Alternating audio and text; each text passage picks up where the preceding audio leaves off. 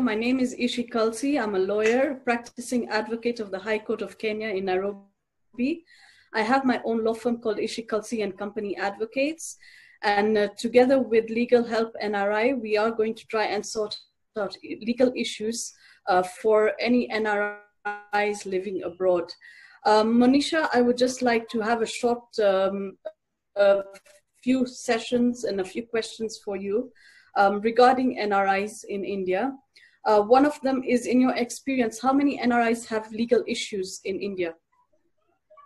Ishi, good question and interesting because any person who's living abroad and has a property back home in India, whether he's acquired it or maybe owned by his parents, has a dispute back home in India. Even it, it necessarily does not have to be a dispute what it is is that they need resolution or they need uh, they need resolving of certain issues uh, certain sometimes it's just bank accounts people have where they need transfer of bank accounts from the parents name to the children's name. At times parents have died they have inheritance where the parents have properties back home and children cannot travel to india to get the properties transferred in their name. So those are the kind of issues we deal with those are issues. But then when you talk about legal disputes, there are legal disputes as well for people who are non-resident Indians, which are mostly 70% people who are living abroad end up having a dispute back home in India. Yes, and that's interesting, Monisha, because one of the many questions I'm getting is about uh, squatter rights in India. What happens when um, somebody has property back home in India, and they, they go and find after several years that they are squatters living on that property. How difficult or, or easy is it to get those squatters out?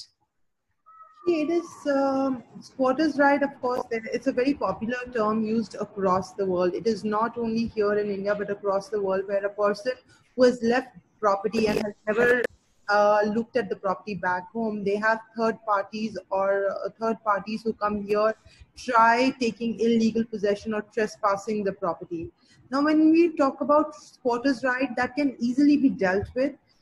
It's something we are majorly doing for people who are non-resident Indians, people who left way back in the 60s or the 70s and have had properties which were given to caretakers and now are claiming right over the property as owners. So it is not a difficult thing. It is a tedious process, I may say, but it can be easily resolved for people if they have the right documentation and we take the right steps in getting it resolved.